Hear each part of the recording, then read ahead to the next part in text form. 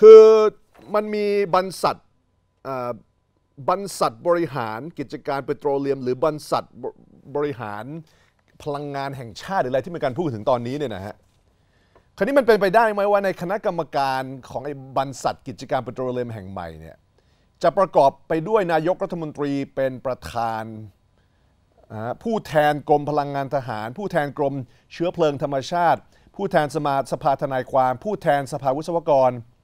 แล้วดันจะไปมีผู้แทนเครือข่ายประชาชนปฏิรูปพลังงาน ผู้แทนภาคประชาสังคม ในคณะกรรมการวิสามันพิจารณาศึกษาการบังคับใช้ พระราชบัญญัติเปโตรเลียมพศ 2514 พระราชบัญญัติภาษีเงินได้เปโตรเลียม 2514 ในสภานิติบัญญัติแห่งชาติ แล้วก็มีผู้แทนมูลนิธิเพื่อบริโภค ผู้แทนสหพันธ์องค์กรเพื่อผู้บริโภค ผู้แทนเครือข่ายประชาชนต่อต้านคอร์รัปชันกบกผู้แทนมูลนิธิสุขภาวะผู้แทนมูลนิธิสืบนาคเสถียรมัน คืออิชูก็คือว่าถ้าเกิดมีบรรษัทที่จะมาบริหารพลังงานของชาติทั้งหมดใหม่ แล้วเสร็จแล้วจะมานั่ง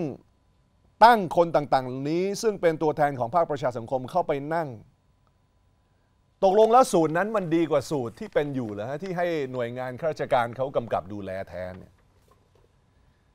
คือรอบนี้เนี่ยพูดตามตรงผมผิดหวังกับท่านธีรชัยภูวนาถนรานุบาลมาเพราะคุณธีรชัยเป็นคนที่มีเครดิต